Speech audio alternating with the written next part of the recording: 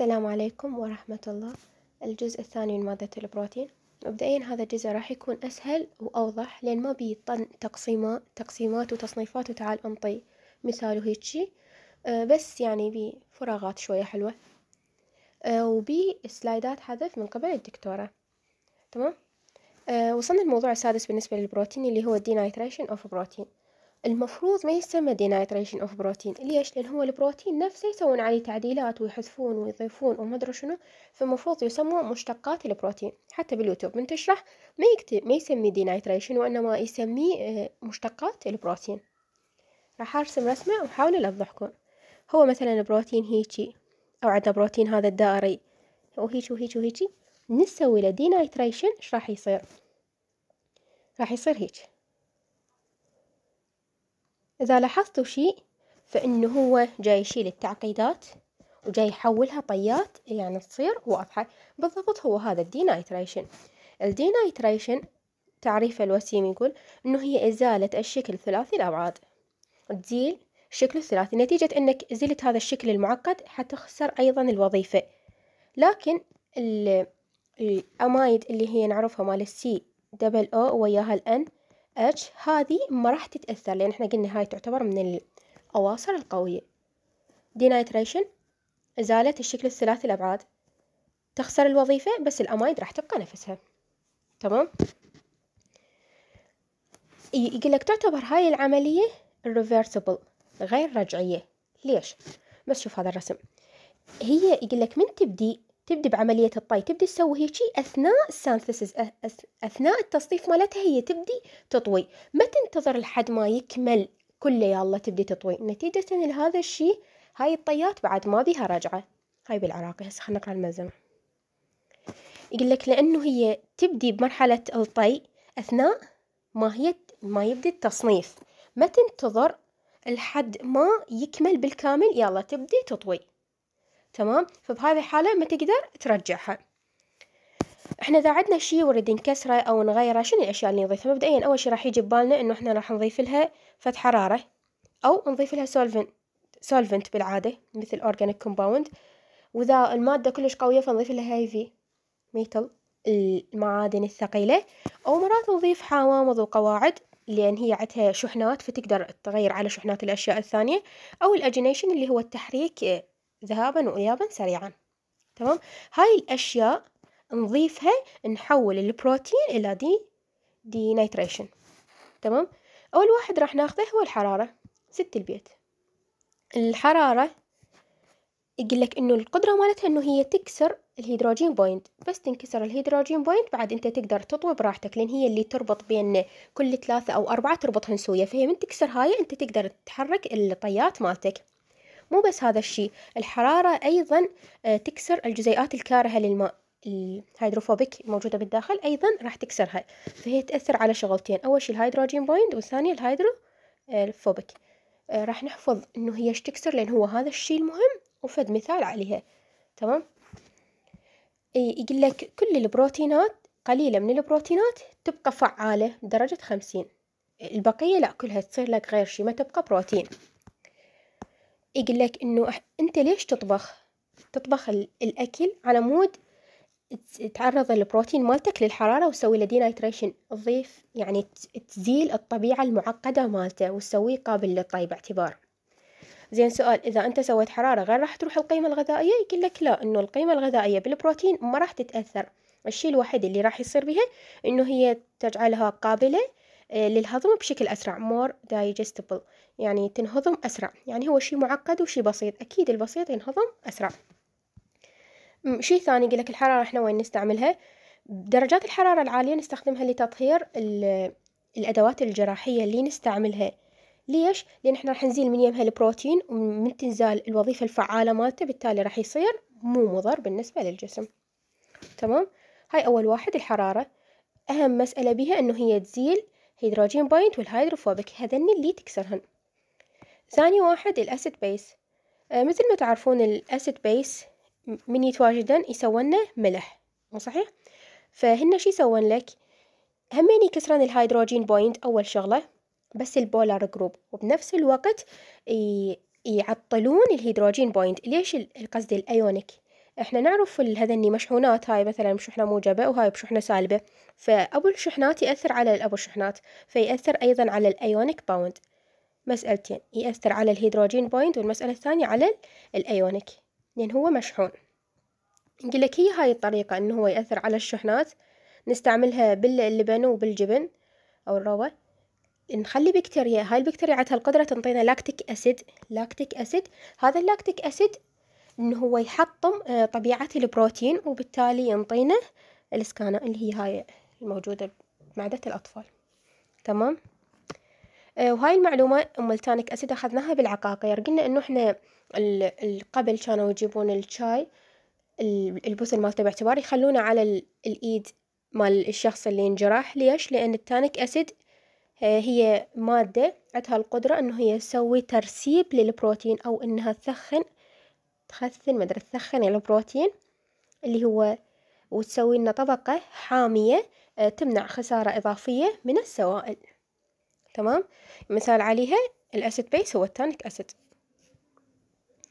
النوع الثالث اللي راح نستعمله ال organic solvent أو ال organic compound مثل إيش؟ ethyl methyl إيثانول هذني أو isopropyl alcohol. هي الكحول ميزتها المجموعة الفعالة مالتها ال group هاي مو صحيح؟ ال OH يقول لك هاي ال OH تروح على ال hydrogen bond اللي هي هاي وترتبط وياها. فبالتالي شو تسوي؟ راح تشكل لنا hydrogen bond خاصة بها بينها وبين البروتين. فبالتالي تعطلت المجموعة الفعالة مال البروتين أو لنقل ال hydrogen bond ومال ال hydrophobic interaction. ال organic مثل الكحول مجموعة الفعالة OH ال OH يتفاعل ويا ال hydrogen bond مال البروتين وتحطمت وبعد, وبعد يحطم لنا ال hydrophobic interaction. تمام؟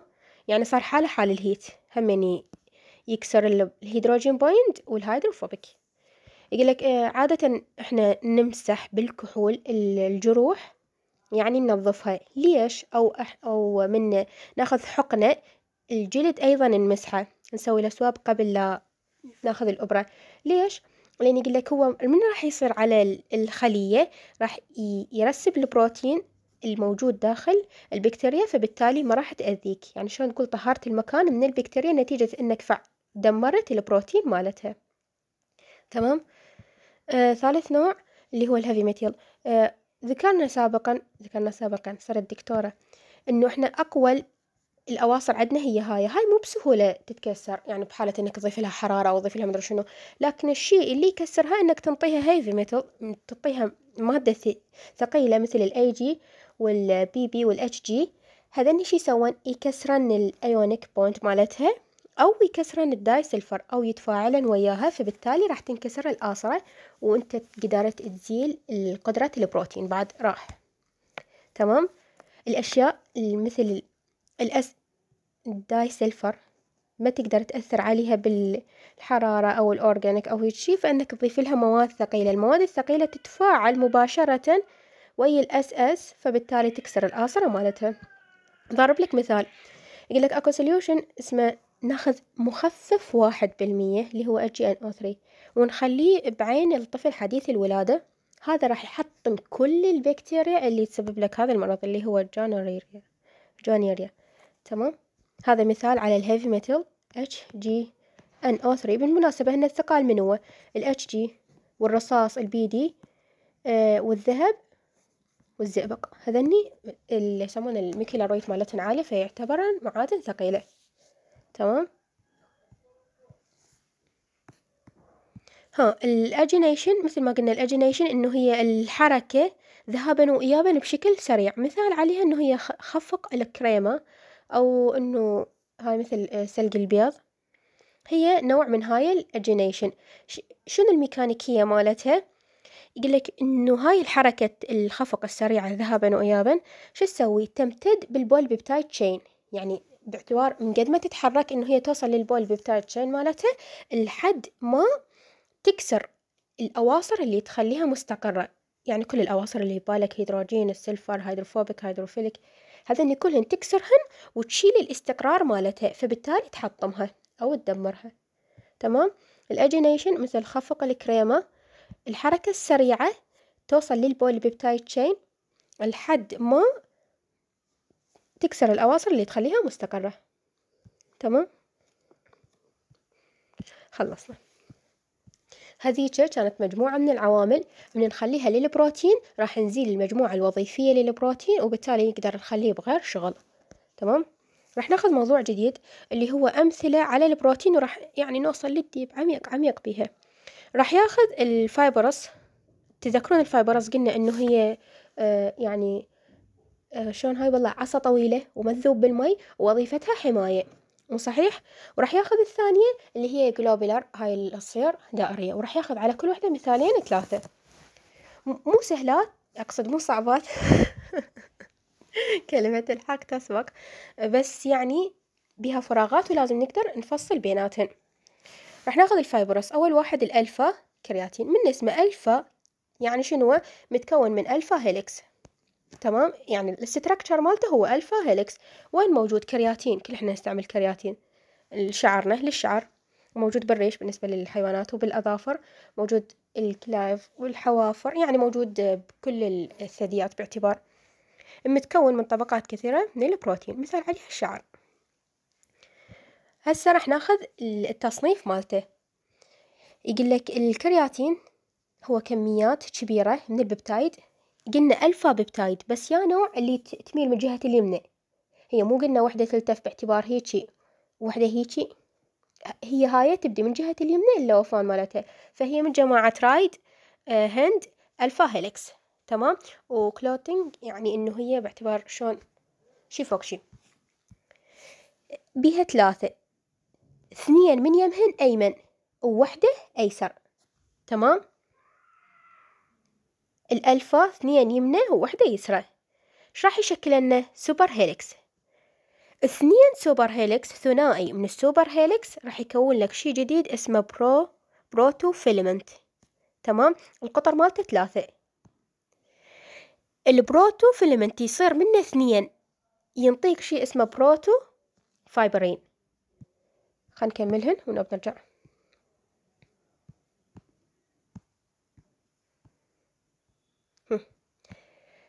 ال protofilament ثمانية من يمه أو نقدر نقول أربعة.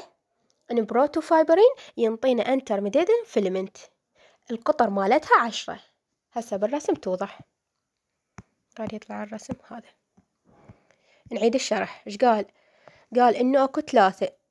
اثنين الفا يمنى ووحدة الفا يسرى. مو صحيح؟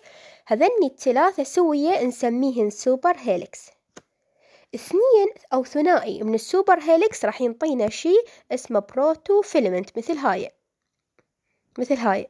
هاي نسميها protofilament. protofilament من يصيرن اثنين. يتضاعفن تصير هاي المربعية بالكامل هاي كلها. يصير اسمه protofibrin. هذا. خلينا نغير اللون. هذا كله يصير اسمه inter filament intermediate filament سهلات ما بيهن شي على الرسم نتذكرهن إن شاء الله. حيل. ما قلنا شي بس قلنا إنه super helix اثنين super helix يسمون لك protofilament protofilament اثنين من يمه protofibrin أربعة من ال proto فايبرين ينطيك intermediate تمام؟ كمل لك شرح. يقول لك إنه هاي الصبغة موجودة بالخلايا الميتة. غلسوا ما بيها شي مهم. يقولك الكرياتين إحنا إيش قلنا بميزة؟ هي من ال fibrous. ال fibrous بميزة إنه هو ما يذوب بالمي. شنو السبب اللي يخليه ما يذوب بالمي؟ يقولك هذا السبب لأن هو عنده ال cysteine. ال cysteine هو عنده هاي ال sulfur ال SH تمام؟ هذني يرتبطن واحدة بالثاني عن طريق ال disulfur وال disulfur تعتبر قوية كلش. وما تنطي روحها للمي فبالتالي ما تذوب بالمي تمام؟ يقول لك هاي خاصية ال disulfur الموجودة بالكرياتين هي هاي الخاصية اللي إحنا نستغلها يعني بسالفة الشعر المجعد. شلون؟ يقول لك أنت من تعرضها للحرارة يعني لعدة مرات راح تحطم ال disulfur تمام؟ يعني هاي عدة مرات تحطم ال disulfur وال hydrogen bond فبالتالي الشعر ينسحب يصير باعتبار سرح ومتسلسل بدون تجعيد لأن هذا التجعيد بسبب ال SS أنت من تشيل هاي ال SS bond هو راح يصير يشتغل عدل. تمام؟ يقول لك يعني تنطيك الشكل المطلوب. هاي this is process. إنه sometime بس الوقت شوي هنا. وراها راح يرجع الشعر يتجعد. يابا ليش؟ لأن هاي disulfur bond راح ترجع تتفاعل ويا الهواء الموجود بالجو وترجع تتكون عن طريق ال oxidation ترجع disulfur لأن هي تتفاعل ويا الأكسجين من الجو ويرجع معقد الشعر. تمام؟ الكرياتين ما يذوب بالماء يابا ليش لأن بي disulfur bond. disulfur bond هاي الخاصية نستعملها بسالفة الشعر المجعد. ليش؟ لأن إذا تعرضت الحرارة راح تحطم ال disulfur bond وال hydrogen. لكن هاي السالفة البعض من الوقت نقدر إن ترجع نتيجة إنه ال disulfur تتأكسد بالجو ويرجع الشعر مجعد. تمام؟ ها هاي آخر وحدة. يقول لك هاي ال proto ال protofibrin. نصر 13 وحدة راح يصير microtubular هاي الهيك كبيرة. تمام؟ ما بي شي. هذا الرسم مرة ثانية. قبل شوي إيش أخذنا؟ أخذنا alpha keratin. هسه بيتا من اسمه بيتا يعني شبي يعني أكثر شي بي هو beta sheet. هاي ال B تصير أكثر بي فلهذا السبب نسميه B keratin. يقول لك هذا أكثر شيء مو عندنا وإنما عند الطيور والزواحف لأن هي موجود أكثر شيء بالريش. تمام؟ ال beta keratin حتى ما شوفين كاتبون عليها شوي هنا لأن ما تفيد الإنسان وإنما هي للحيوانات الطيور لأن بها ريش. تمام؟ ثالث نوع راح ناخذه. هسه هذا الكولاجين المن تابع تابع لل fibrous تمام؟ آه، مبدئيا شنو أكثر شي ياخذ من وزن الإنسان؟ إحنا نعرفه العظام. العظام إحدى مكوناتها هو الكولاجين. لذلك الكولاجين هو أكثر نوع من ال fiber fibrous protein. هو أكثر نوع متوفر. تمام؟ ياخذ تقريبا خمسة وعشرين بالمية من الوزن الكلي للبروتين مال الإنسان. تمام؟ كمل لك الجملة اللي إحنا نعرفها إنه الكولاجين يابا موجود بالسكن وبالبونو بالتيث بالكونكتيف تيشو بكل شيء. ليش؟ لأن هو يعني أكثر واحد يوفره فشي أكيد موجود هواية. ليش؟ مثل ليش موجود؟ إنه بالأربطة وبالأوتار الموجودة بين العظام. تمام؟ هسه راح ناخذ ال structure مالته الكولاجين. يتكون من tropocollagen. تمام؟ tropocollagen. هي triple يعني ثلاثية. يعني هي جزيئة ثلاثية. عكس هذيك وحدة يمنة من ضمن ثلاثة يسرات. تمام؟ ذيك كان لا اثنين يسرى ووحدة يمنى. هاي لا وحدة يمنى وثلاثة يسرى يعني اثنين اليسرى الباقيات. تمام؟ الميزة مالته يقول لك إنه الدوران هذا مالته الالتفاف انه هو ثلاثة point ثلاثة. كل ثلاثة point ثلاثة amino acid يصير له آه يعني التفافه وينزل باعتبار سرة اللي جوا تمام؟ يعني كل ثلاثة point ثلاثة من أصل ألف يلتف هو هذا الكولاجين. إحنا نعرف اللي يمتد بال... باعتبار الألفا أو البيتا هو اللي يربط بيناتهم هو ال hydrogen bond حافظينها من التصنيف مال البارحة تمام؟ يقول لك ال structure مالته ال primary الأول منين جاي جاي glycine X Y. ال X دائما بورالين تمام؟ بورالين. وال Y مرة بورالين ومرة hydroxyproline. هذا ال primary جاي من G L Y النوب X والنوب Y. ال X دائما proline ال Y مرة بورالين ومرة hydroxyproline تمام؟ هذا إذا نقص بالجسم يسبب لك طن أمراض. سهلة هاي الورقة إن شاء الله ما بيها شي إنه أشهر شي الكولاجين متوفر هواية. موجود بالعظام بال skin وبكل شي يجي ببالك. موجودة وحدة يمنة. موجودة وحدة يمنة. وثلاثة أو الباقيات يسرى. ثلاثة point ثلاثة ويصير الدوران مالته. hydrogen bond هي اللي تربط بيه وهذا الشكل structure الأولي ال primary إله. ها. يقول لك أثناء ما سوينا له فحص اكتشفنا إنه هو يعني ثلاثي. وكلش قريب من ال center مالته. ليش؟ هذا الجواب. لأن هو يستعمل ال glycine ال glycine هذا structure مالته إنه بيه H بيه H ال H وال H تعرفونها صغيرونة فما تسوي لك فراغ كبير بال structure مالته. هذا الشيء راح يت يعني يتقارب الناس من ناس تمام؟ يعني إنه هي ما تسبب لك فراغ كبير. يقول لك شي ثاني إنه ال hydroxyproline هذا الشبي يساعد على الاستقرار مالته. إله. بحالة صار عندك نتيجة إنه متكون من hydrogen bond يقول لك إذا نقص هذا بالجسم اللي هو ال hydroxy ال... لا ما جاي يقول إنه ال... هذا نسوي له تعديلات اللي هي نضيف له hydroxylation يعني نضيف له OH على الشكل مالته. راح ينطينا شي كلش مهم اللي هو vitamin C اللي هو ascorbic acid الشخص اللي عنده نقص ب vitamin C يعني عنده نقص بإنتاج ال hydroxyproline production تمام نقص هذا الشيء إحنا مو قلنا هو هذا جالسي X Y من نقصة هذا؟ باعتبار ما تكون عندك كولاجين أولي وبالتالي صار عندك مرض اسمه scur ما أدري شو اسمه. scurvy تمام؟ مو صعب. هذا أخذناه بمحاضرة الأمينو. قلنا إنه هو لايسين وضفنا له hydroxy يعني هو أمينو معدل. الوظيفة مالته إنه هو يسبب يعني مواقع على مود يتصل بها سكريات تمام؟ المسؤول عن صلابة الكولاجين هو الأواصر مالته المتربطة ناس بناس المتمثلة بمن؟ اللي هي ال S S bond. يقول لك هذه التفاعلات تظل طول العمر. تمام؟ بالنسبة للجلد بالعظم والجلد والأوتار. لكن تصير ليس يعني تخسر الإلاستيك مالتها المرونة مالتها ويا الأجنينج ويا التقدم بالعمر. خلنا نمسح هذا ال slide كله ونشرحه.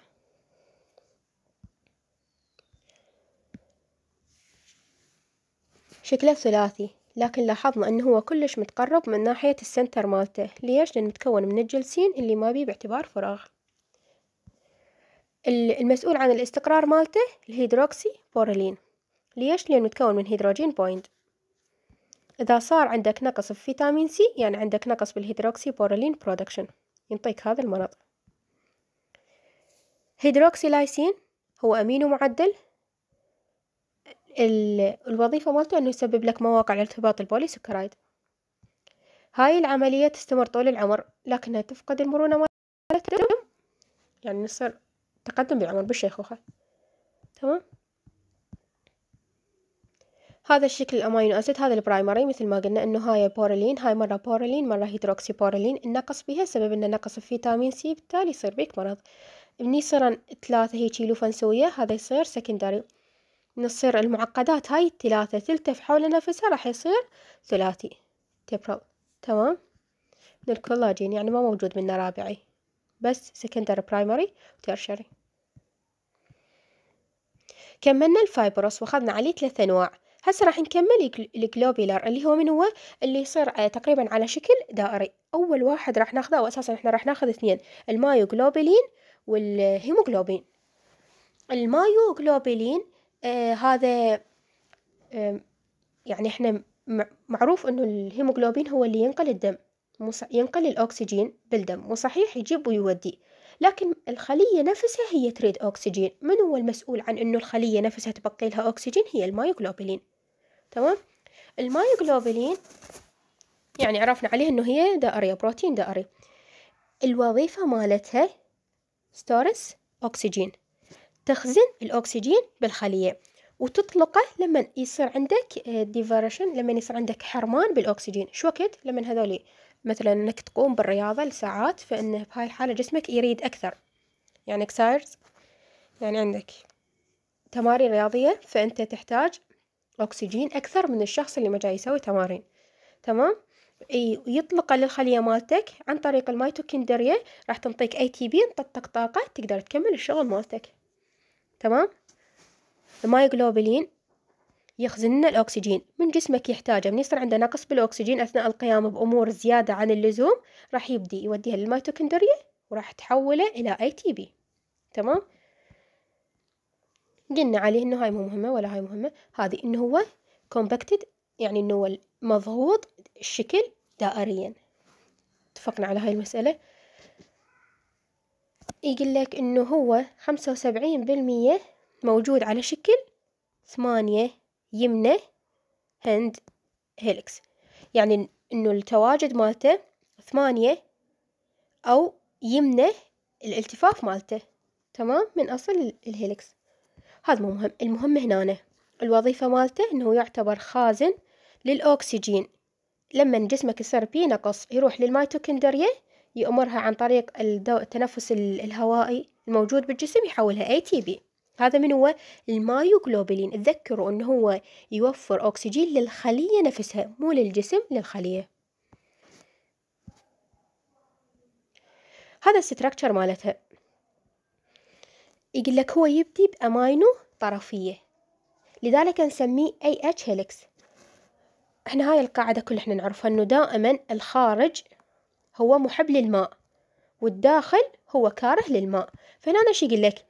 يقول لك كل ال surface مال ال myoglobin هو polar يعني محب للماء باستثناء ذن الثنين يهن ال E سبعة وال F ثمانية. السبعة والثمانية يعني هن ذني كارهات للماء. يابا ليش يقول لك مو هن يقتربن كلش من ال heme.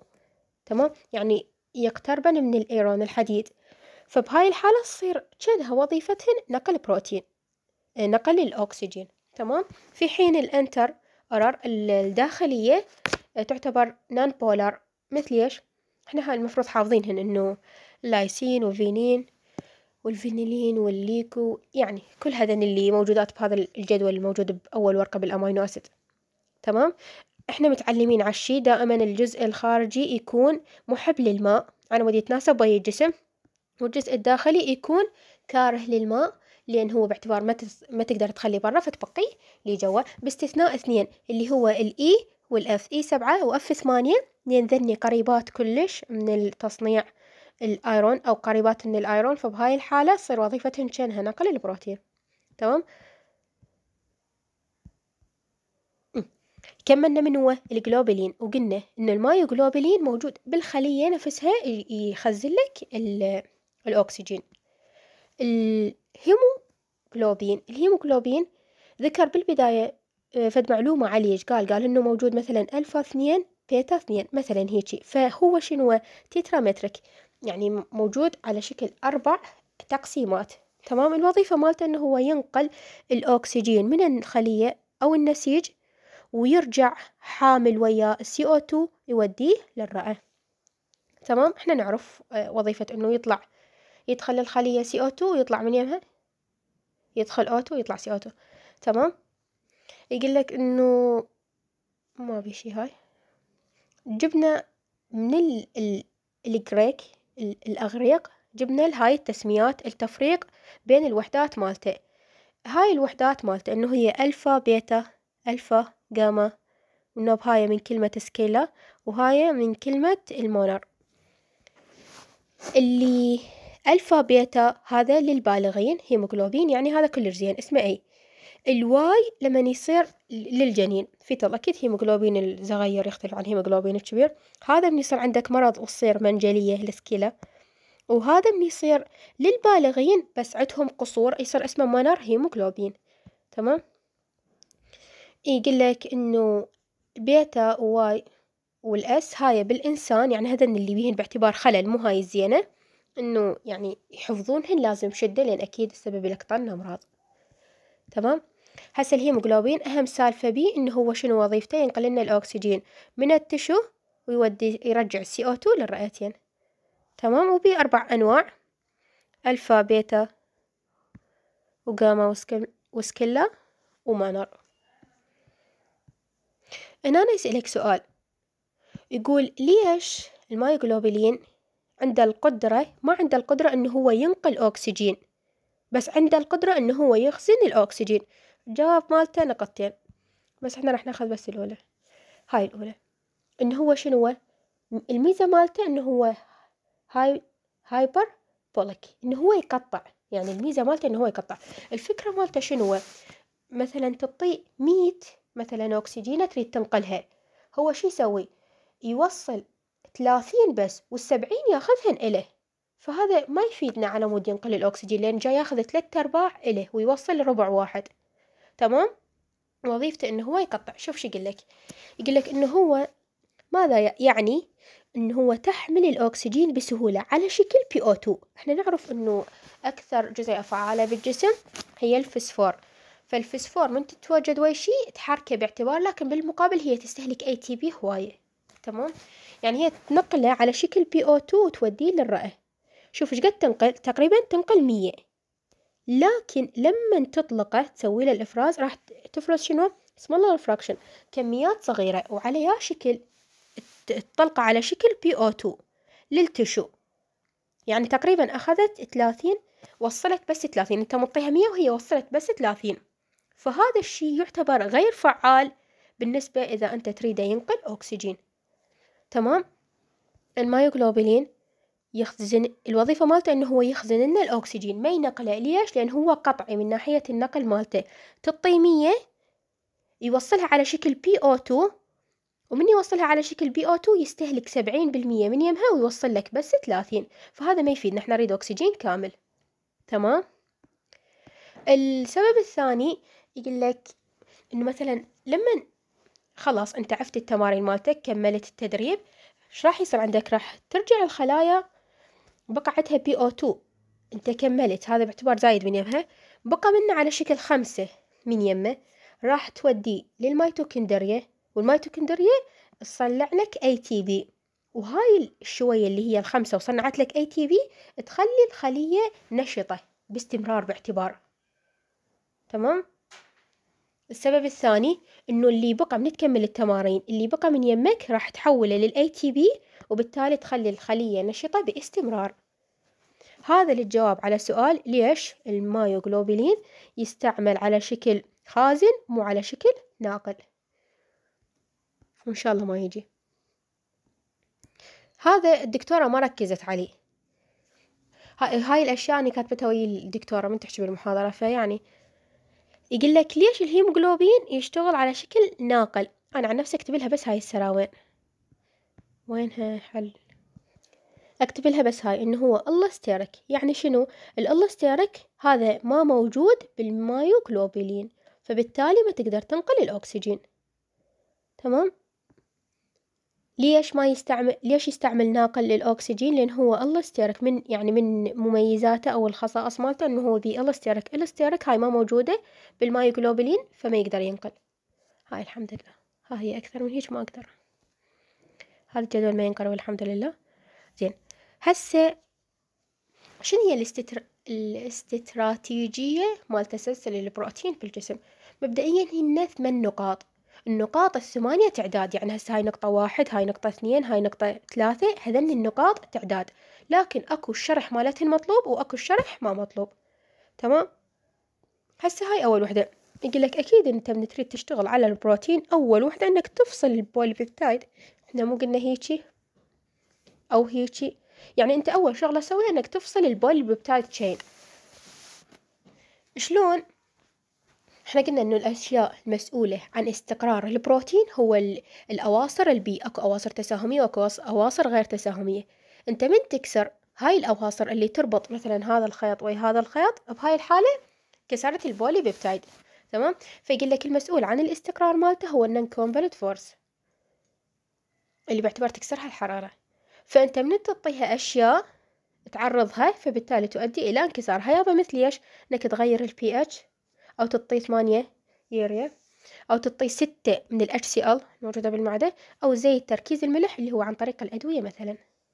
تمام؟ هاي الأمور تؤدي إلى فصل ال poly chain تفصل هاي السلسلة عن هاي السلسلة. ليش؟ لأن أنت سويت خلل بالاستقرارية مالتها نتيجة إنك كسرت الأواصر ال non-covalent مالتها. تمام؟ يقول لك إنه هاي أغلب العلاجات تقوم على مبدأ إنه هي تحطم الأواصر ال polar مثل إيش ال polar؟ الهيدروجين وال hydrophobic وال hydrophilic هذني عندها القدرة إنه هي تحطمهن.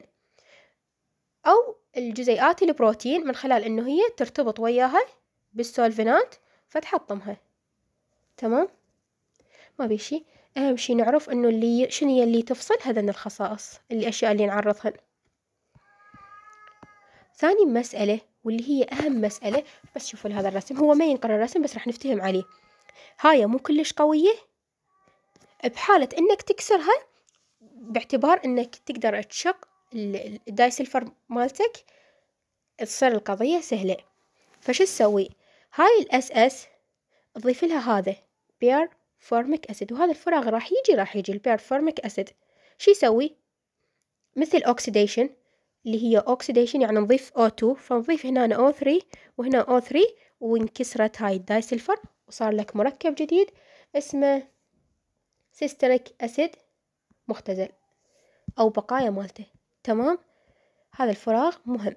إنه أكو عملية oxidation لل sulfur لل disulfur عن طريق performic acid راح ينطينا مركب جديد أو معادلتين جديدتين اللي هي cysteic acid تمام؟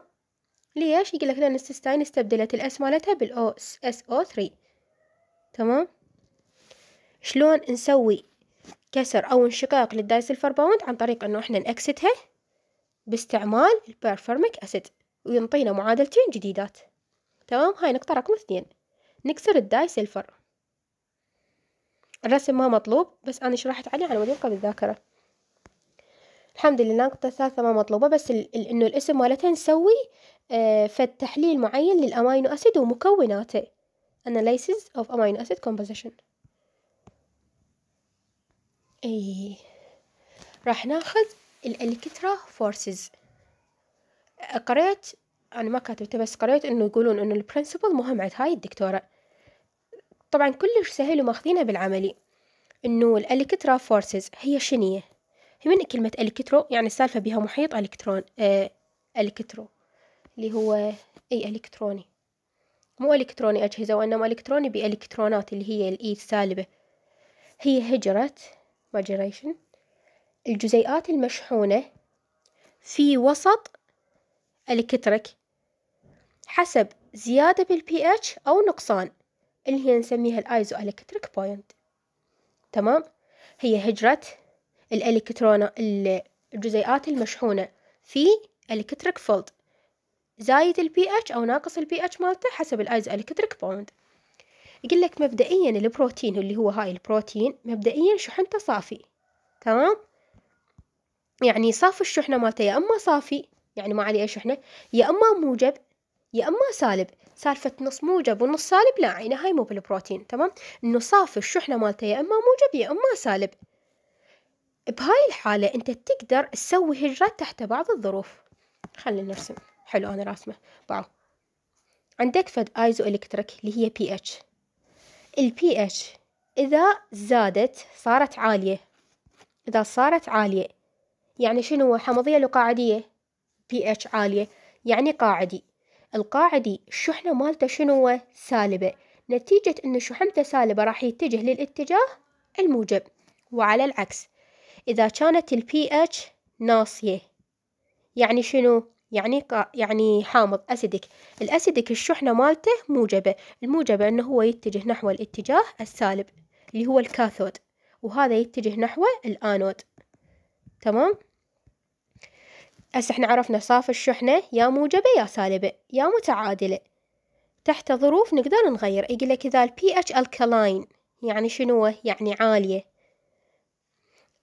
باعتبار ال isoelectric مالته راح تصير صافي الشحنة شنية سالبة. ليش؟ لأن تعتبر إنه هي base فبالتالي الهجرة الإلكترونات راح تروح للآنود. ليش؟ لأن الآنود شحنته سالبة. لما يمر عليه التيار. نعيد. أنت عندك بي اتش صارت عالية. يعني أنت راح يشتغل على شكل base ال base من الله شحنته سالبة. السالبة نتيجة إنه هو بمكان مشحون بشحنات كهربائية راح يروح نحو الآنود. الآنود اللي هو شحنته موجبة. تمام؟ هاي انحلت القضية. سهل كلش سهل. هاي ورقة ما تنقر الحمد لله. ها كاتب لك فد معلومة تصدم. يقول لك لأن البروتين مختلف إحنا نعرف إن البروتينات مختلفة وصلنا ساعة نصنف بيهن. لأن هي مختلفة فبالتالي ال electric الحركية مالتها أيضا راح تكون مختلفة حسب ال value حسب قيمة البي اتش اللي تتأثر بها. فبيقول لك مثلا شوف سبعة أربعة point سبعة ألبومين سبعة point ثلاثة جلوبولين تمام؟ ويقول لك إنه أكثر شي فعال هو عند ثمانية point ستة. وراها لا تصير القضية مختلفة. نتيجة لاختلاف البروتين راح ينطيك اختلاف بال electric أربعة point سبعة ألبومين.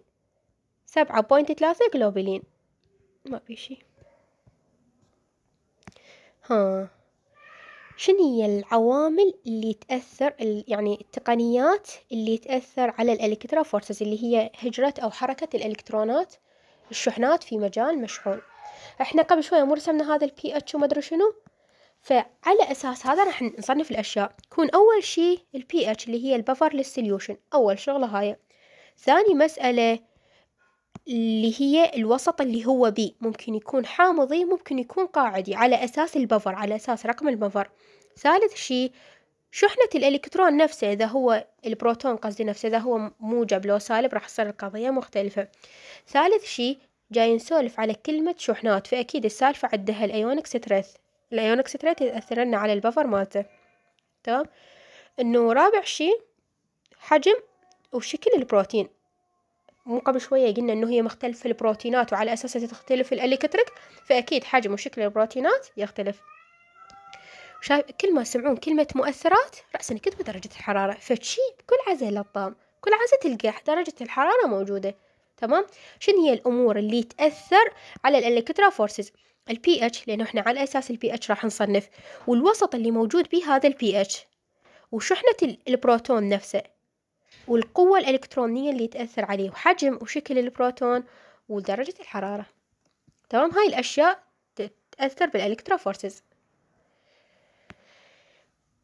شرح. هاي هنا سهل كلش سهل ال slide يقول لك no movement movement بحالة إنه ماكو حركة. يعني شنو؟ يعني الإلكترون مالتك متعادل. قصدي البروتون متعادل. proton is neutral تمام؟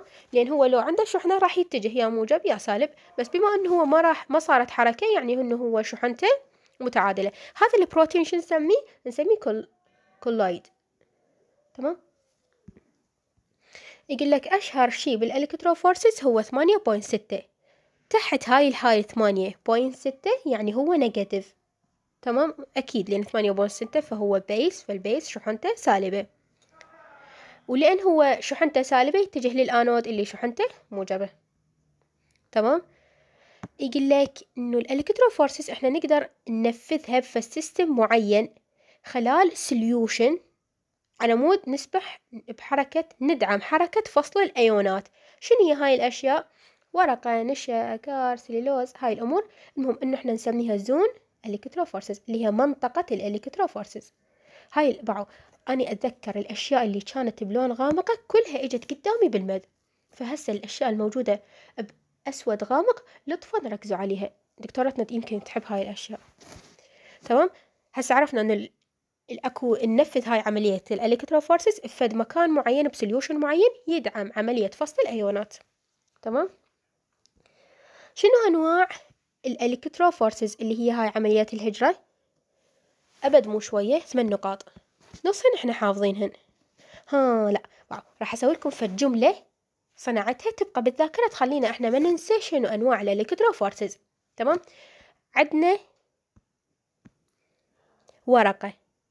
خلينا بيها نشا. خليناها بهذا الجدر الضغط. شو نسميه؟ ال capacity فهاي ال capillary تمام؟ انتج لنا مادة اسمها بي اي جي اي بي اي جي اي غارت من يمها.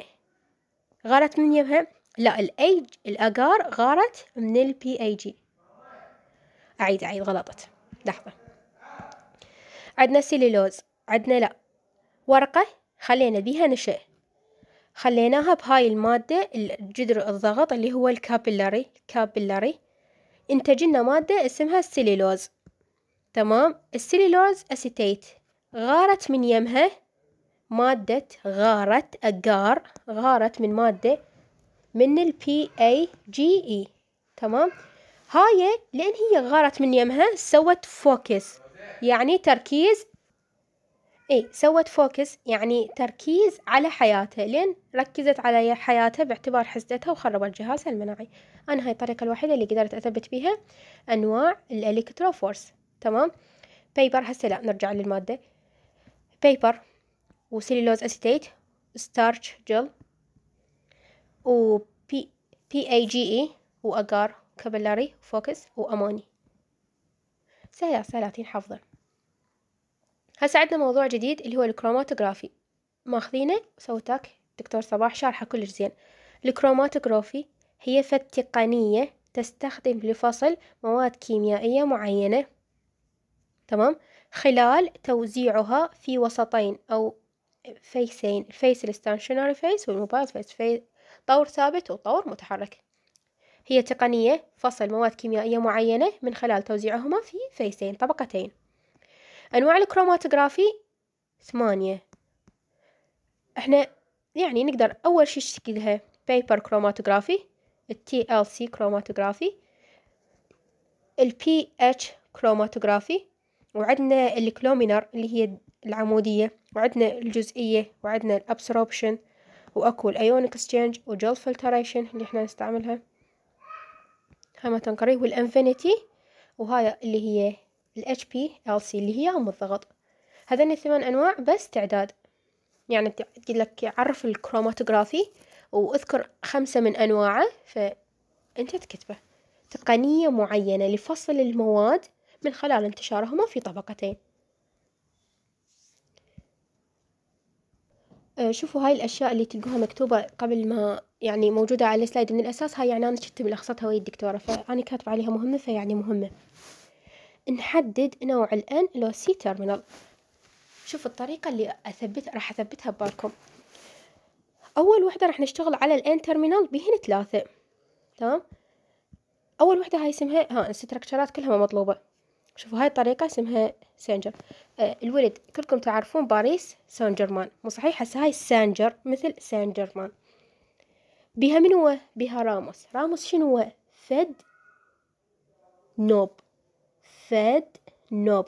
فد نوب وسيم آه أقصد خوش يلعب يعني هو خوش لاعب. تمام؟ فسنجر فد نوب تتفاعل ويا من؟ ويا ال N terminal. كل ال N terminal amino group. في وسط alkaline. ليش alkaline؟ لأن هي أساسا N وال N هي قاعدية ف alkaline الشي ينطينا هي مو هاي فد نوب؟ فد نوب. شيل ال F تبقى D وال N هاي مو B راح تصير B derivative مشتقاتها مادة صفراء. تمام؟ أول وحدة سانجر فد نوب. فد نوب تنطينا مادة صفراء اللي هي اسمها DNB ومشتقاتها. أهم مسألة إنه هي تتفاعل ويا ال N terminal في وسط alkaline تمام؟ على مود لا نصير قاسين شوية هسه هاي للبنات. ديزني. مو إحنا نعرفها؟ ديزني أول ما تشتغل ينطينا هيك فد وميض حلو أصفر نجمة مدري شنو يشتغل على الشاشة مو صحيح؟ فهاي شو اسمها؟ dansyl تمام؟ كأنها ديزني. dansyl تتفاعل ويا ال N terminal amino group مو صحيح؟ إيش تنطيك؟ وميض اسمه dansylate N terminal تمام؟ ديزني بها وميض من تبدي تشتغل هيك فد شي حركة صفراء أو هيك شي فهذا الوميض اسمه نفسه اسمها dansylate تتفاعل ويا ال N terminal الايباد حيطفى حنكمل شحن؟ حنكمل دراسة يم الشاحنة. تمام. آه هسه آخر شي سولفنا عليها إنه هي ال dansyl. تسوي لنا وميض وتشتغل. ثالث نوع هذا مرض الطرفين. إيدمان. كل إحنا نعرف إيدمان. هذا قوي والهيجي فنتيجة إنه هو إيدمان قوي. الاسم مالته كلش طويل. بروح على الرسم على مود يبقى بالذاكرة. هاي الفينول الآيزو المتفرع هذا المتفرع. ثايا الثايا هي هاي الان نسميها ثايا باللاتينية معرف شنو؟ والسيانيد يمكن هاي الاس هي هاي double أو هي هاي السيانيد. اسمه phenyl iso thio cyanide. يتفاعل بال alkaline يعني يقصد ويا ال N وينطينا ويا ال N terminal group تمام؟ إيدمان اسمه طويل نحفظه من خلال الرسم يتفاعل ويا ال N group كملنا ال N terminal هسه راح نكمل آه ويا ال C مبدئيا ال C كلش حبابة. كلها اسمها carboxypeptidase A و B و C و Y أول وحدة تتفاعل ويا كل C terminal نسوي لها hydrolysis تكسرها. باستثناء ذن الثلاثة هي مو اسمها A فاسمها هاي الأجرانين وأخوها ال pro مالتها يعني اثنين أكيد أخوي يتعارك ويا الشخص فهي من ما تذوب ال arginine ال pro مالتها الأخو أيضا ما راح تذوبها ما راح تقدر تسوي له تحطيم. زين. وال ly lysine زين ذن الثلاثة منو راح يشتغل عليهن هذا الثاني اللي هي ال B. تأثر لنا بس على ال Arg أو ال lysine ال carboxyl C أو Y Y آخر الأحرف فهو يأثر على كل شيء. act on any يعني يأثر على any C terminal تمام؟ هاي التفاعلات الستة يمكن. هذني نحدد شلون نذوب أو نأثر على ال C terminal وال N terminal النقطة الخامسة إنه هذا ما ينقري بس هي النقطة الخامسة تنقري إنه إحنا نسوي fragmentation يعني نسوي تجزئة لل polypeptide. أول شي فصلناها ثاني شي كسرنا ال sulfur ثالث شي حددنا ال amino acid رابع شي كسرنا ال N terminal وال C terminal خامس شغلة إنه نسوي تجزئة لل polypeptide chain. الحمد لله ما ينقري. هو هو حتى لو ينقري إحنا ما نقرأ الدكتورة تفتهم. هاي ما تنقري. الحمد لله هاي ما تنقري. ها. نقطة ستة. يمكن لك نحدد التسلسل عن طريق هذا اللي هو اسمه mass spectrometry. المهم MS. تمام؟ ما ينقر الشرح مالته. نقطة سبعة. ها. نسوي إعادة بناء لكل ال amino acid. إحنا مو حطمناهن قبل شوية؟ نسوي لهن إعادة بناء لأن إحنا أساسا نريد ال amino acid يروح للكبد. تمام؟ نسوي reconstruction لكل ال amino acid والشرح ما ينقري. الحمد لله هاي ما تنقري. نقطة ثمانية. نقطة ثمانية نحدد موقع ال disulfide الجسر مالتها. يعني مو قلنا هاي وهاي هاي مرتبطة بهاي عن طريق S S فنحدد الموقع مالتها بالتحديد. اللي ينقر من هاي slide هاي الكلمة اللي هي باللون الأسود. قلت لكم دكتوراتنا تحب الأسود. أكو طريقة نحصل بيها معلومات على ال disulfide تمام؟ من دون تحطيم ال disulfide peptide. إيش اسمها؟ اسمها diagonal electrophoresis تمام؟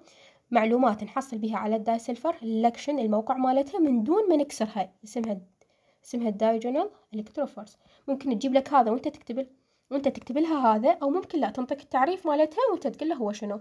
التعريف مالتها شنو؟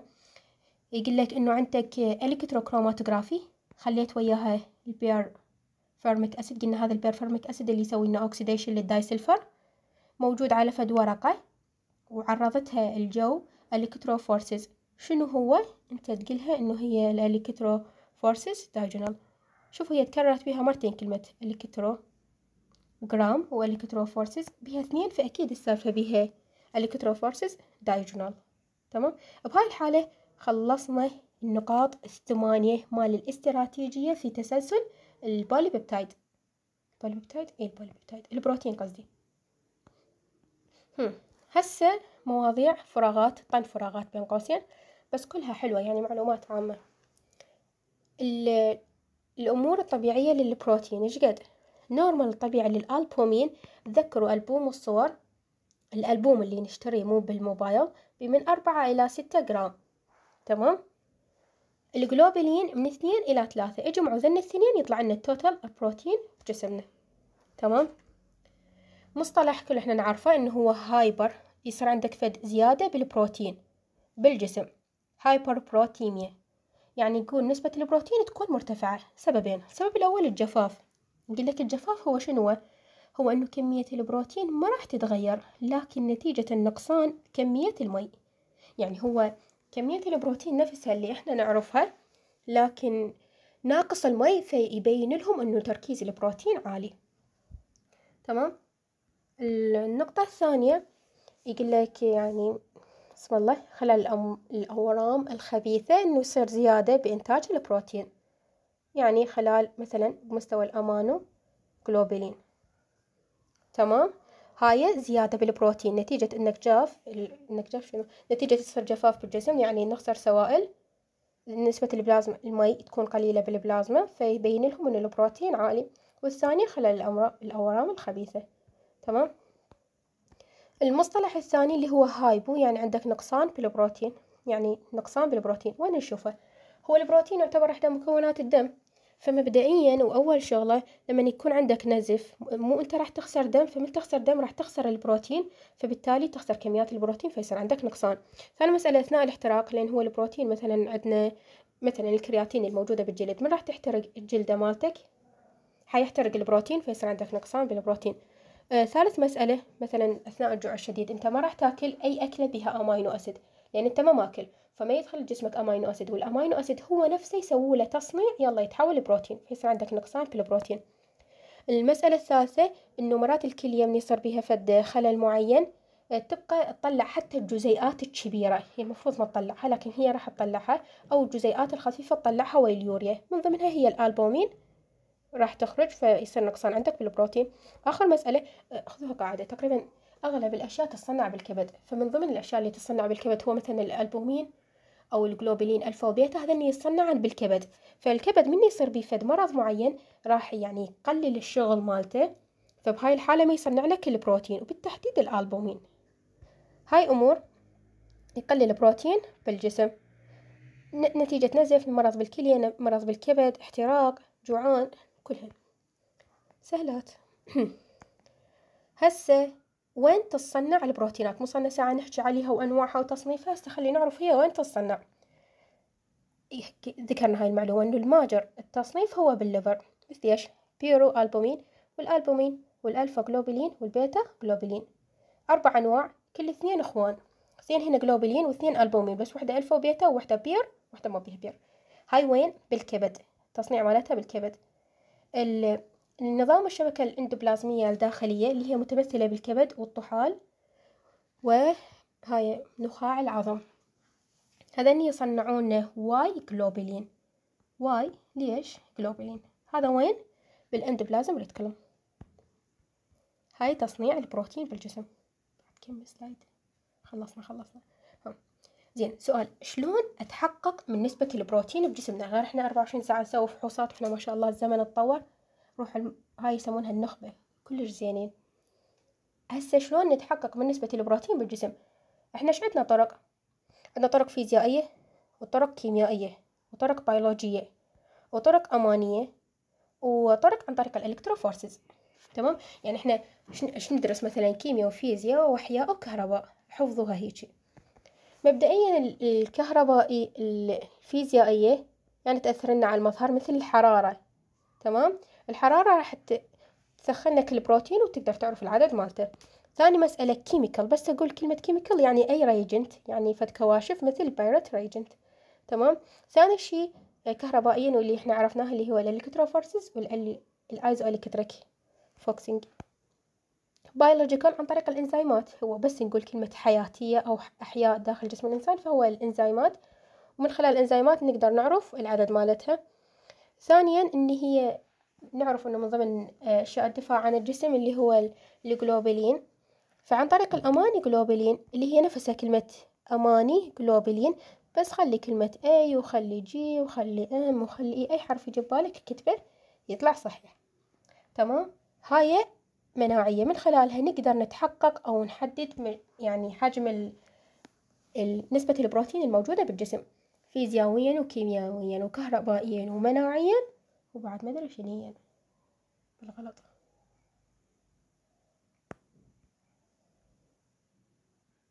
نكمل طن الفراغات. مبدئيا عدد البروتين بالجسم يعني المصنع خلال اليوم واحد هو من واحد إلى اثنين.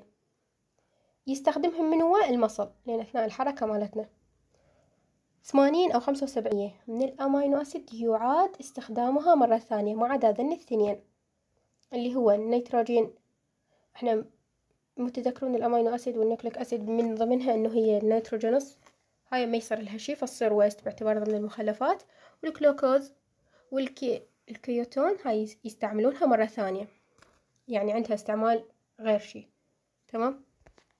تقريبا اللي تخسره من جسمك يعني خلال اليوم الواحد هو من ثلاثين إلى أربعين بروتين. وبنفس الوقت معدل اللي لازم تاخذه باليوم من ثلاثين إلى ستين.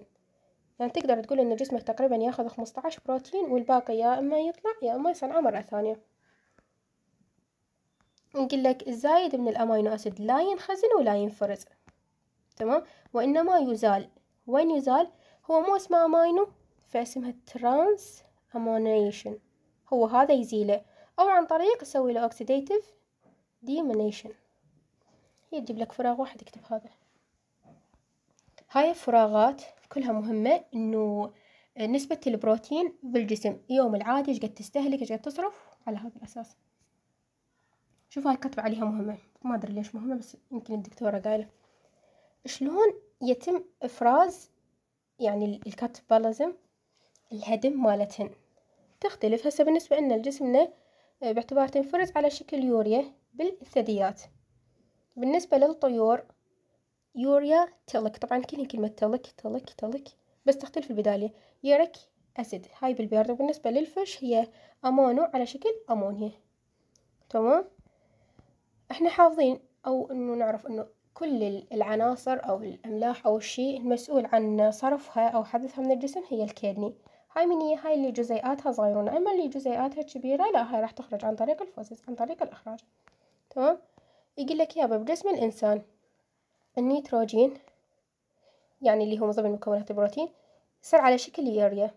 يوريا يعني مادة صفراء هيك تقريبا لزجة تمشي ويا الدم تمشي ويا الدم ياخذها الكبد يصنعها الكبد. يفرزها مرة ثانية للكبد يصفيها ويعدلها هو الكيدني ويشتغل الجسم. هيك والحمد لله تمت محاضرة البروتين. شكرا لحسن إنصاتكم.